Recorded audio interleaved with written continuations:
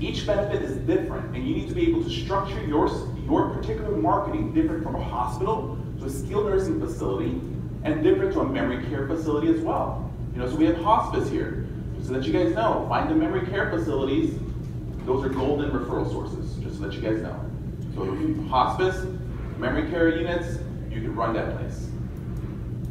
Just good as well as home health. There's a lot of memory care units popping up everywhere now. You're seeing that typically a lot of assisted living communities are now creating those. You can literally run a memory care unit. I've seen home health agencies run full buildings and provide all the care for them because memory care is non-medical and they need therapy, they need everything. So that's just a, one aspect that you guys need to market. I, I have two, two guys right now that are handling close to about 40 referrals a month from, from five facilities